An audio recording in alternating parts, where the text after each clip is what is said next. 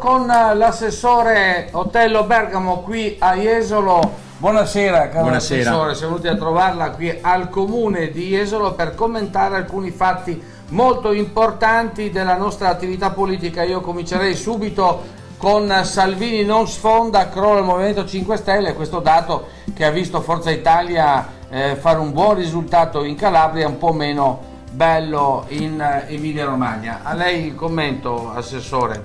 Beh, sicuramente l'Emilia Romagna tradizionalmente è una regione per così dire mh, di sinistra e che eh, questa volta ha, ehm, ha avuto un risultato per quel che riguarda il centrodestra particolarmente significativo.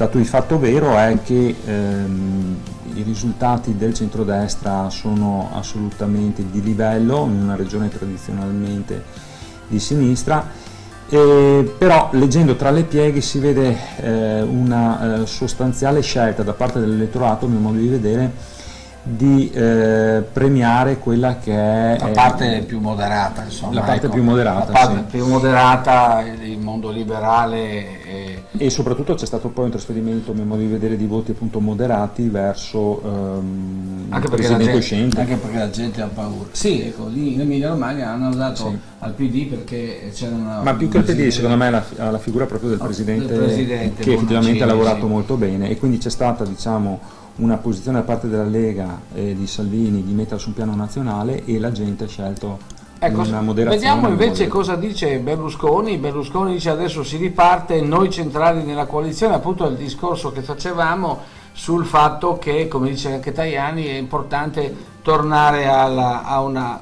ponderata diciamo, riflessione e a un liberalismo un po' più diciamo, sociale, tranquillo non esagitato. A lei la parola, Assessore. Beh, eh, sicuramente ehm, tra le analisi del voto c'è un dato importante. Tra europei 2019 e regionali 2020 in Emilia Romagna la Lega ha avuto una flessione dell'1,8%, che è un dato significativo che non tutti hanno letto. Sicuramente all'interno della coalizione serve una forza moderata e di centro che vada a essere per così dire di garanzia. Continuiamo con la nostra lettura anche perché eh, c'è un problema locale, lei assessore Jesolo, la sabbia marina per riparare le spiagge, vongole a rischio. Questo è un argomento importante che va intralacciato anche con un altro argomento poi della conferenza dei sindaci che hanno visto anche protagonista del comune di Jesolo per eh, i ripascimenti e quindi chiedere sostanzialmente al governo e alla regione un contributo per questo ripascimento. Però crea un problema perché eh, c'è stata una protesta dei vongolari perché eh, sostanzialmente dicono Gianni Stivale e gli altri, il Cogevo, dicono attenzione a mettere troppa sabbia perché Colognoto chiede più sabbia, però gli altri dicono quelli di Carle piano perché se mettiamo troppa sabbia eh, eh, andiamo a fare dei danni alle vongole. Ecco, qual, qual, è la sua posizione al riguardo? La nostra posizione, la mia in particolar modo dell'amministrazione, è quella di una soluzione che sia strutturale al problema. Noi non possiamo, un'economia come la nostra, pensare a eh, essere in mano ogni anno a una situazione di emergenza. Bisogna pensare a una soluzione strutturale con dei, pannelli fissi che hanno la funzione in pratica di andare a salvaguardare la nostra spiaggia.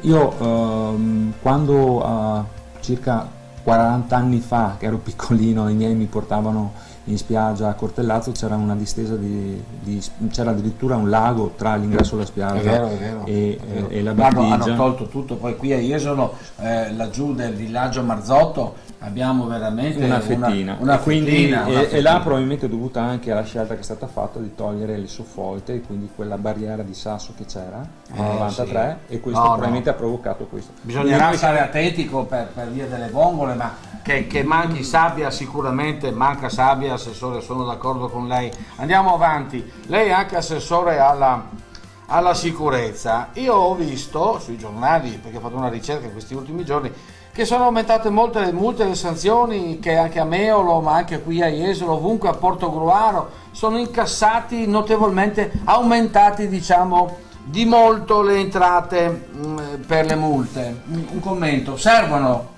Beh, eh, diciamo, servono non, so- non- non- non tanto, non solo per fare cassa, ma eh, effettivamente, visto anche quello che succede sulle strade, penso che ci deve essere un inasprimento di quello che è il controllo, soprattutto per quanto riguarda l'eccesso di velocità, la guida in stato di ebbrezza e a mio modo di vedere anche un inasprimento serve delle norme proprio a livello nazionale, perché chi eh, è al volante deve, ha una responsabilità, ha una bomba in mano e quindi deve salvaguardare la vita propria e anche quella degli altri. Quindi io penso che l'aspetto delle multe... Cosa fate voi a Jesolo con le multe ad esempio? Beh, eh, diciamo che c'è un obbligo di legge di andare a spendere una percentuale di queste multe per eh, la sicurezza eh, urbana e poi eh, diciamo con le multe comunque andiamo a ehm, fare delle iniziative sulla sicurezza importanti. Abbiamo appena pre eh, preso la seconda unità Cino Fila Basco. Magari faremo una puntata a parte, ah. quella sul cane eh, che mi interessa molto eh, sul cane antidroga perché c'è un'altra notizia, ecco, ad arme droga in Veneto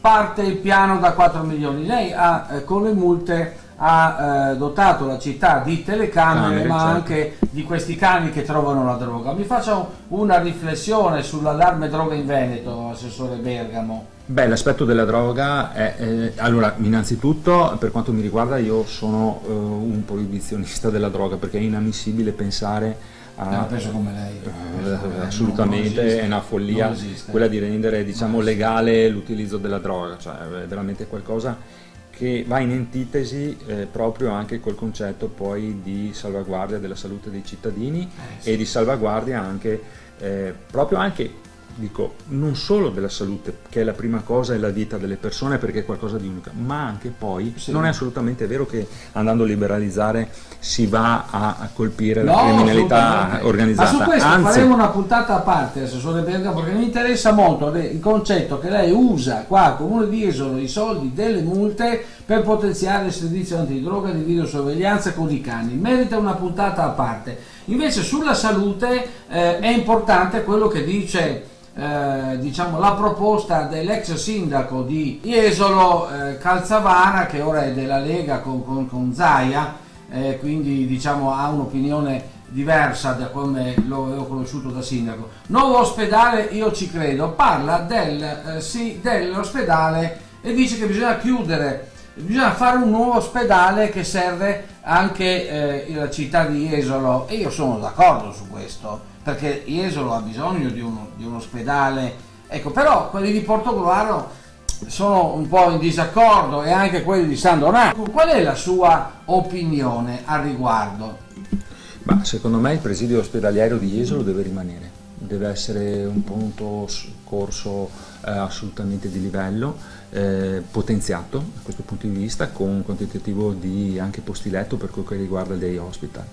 Io mm, farei proposte che eh, con i piedi per terra, quindi è stato fatto un progetto importante sull'ospedale di Mestre che è un'eccellenza e eh, andare a pensare oggi di nuovi ospedali penso che sia un, lanciare un sasso nello stagno. Lei la vede in maniera diversa per la Calzavara? Ma io per quanto riguarda il casello di San Stino a mio modo di vedere deve rimanere dov'è e anche soprattutto deve essere potenziato, valorizzato. Anche lì faremo un'altra puntata. Perché, ehm, e per quanto riguarda l'ospedale di di, di un nuovo ospedale. L'ospedale questo è importante. No, io l'ospedale a Jesolo io lo voglio, voglio che rimanga e venga ecco. potenziato Jesolo. Andiamo a vedere cosa dice eh, Calzavaro sull'ospedale, poi anche qua merita sicuramente un approfondimento, no? Perché a un certo punto dice, ecco qua la domanda della collega giornalista, del collega fa, se si farà il nuovo ospedale, le strutture attuali di San Donà e Jesolo andrebbero smantellate? Sì, dice Calzavaro, si tratta di aree importanti dal punto di vista urbanistico per San Donà potrebbe esserci una vocazione residenziale, dice. L'ospedale nuovo non è stata una buttata elettorale, dice Calzavara, proprio per questo non viene discusso in questi mesi eh, quando tutto rischia di essere mistificato. Diciamo che comunque cinque anni fa c'era qualcuno che eh, diceva sia l'autostrada del mare in campagna elettorale sia la soluzione strutturale per la Pineta. Io non ho visto né l'autostrada del mare né le soluzioni strutturali per la Pineta adesso si interviene sull'ospedale, temo che fra cinque anni non vedremo neanche quello. Ecco, Quindi certo. io farei proposte diciamo, che stanno qui per te. Allora torniamo a noi, torniamo a Jesolo e eh, questa mattina eh, sto facendo vedere le immagini con il drone del centro di Jesolo perché ovviamente adesso è freddo, quindi il mare lo lasciamo stare. Ma il centro è bellissimo, è bellissimo e poi eh, ho scoperto eh, questa navigazione fluviale che eh, mi, mi, diletterò ad approfondirla anche questa navigazione da, tra il canale Caveta, il Piave, il Sile. Beh, c'è il vecchio progetto del litoraneo Veneto. No? Però le volevo fare una domanda dal punto di vista della cultura, Assessore. Sì. Cosa c'è di bello da vedere a Jesolo? Che iniziative culturali sta organizzando? Beh, allora adesso avremo a brevissimo Antonello Venditti nel mese di marzo con un grandissimo concerto, avremo Marrakesh, ma poi avremo anche poi il Balletto del Sud, eh, nella costa e tante tante iniziative che eh, ci daranno diciamo il là poi per l'avvio della stagione estiva. Quindi grandi concerti con la finalità di eh, portare una cultura che sia poi più possibile a tutto tondo. Recentemente abbiamo avuto eh, il professor Gallimberti, ma anche Ezio Mauro, l'ex direttore di Repubblica. Eh, insomma, abbastanza Quindi sì, vivace, molto molto, molto folta. Grazie cari amici telespettatori, buonasera, alla prossima puntata.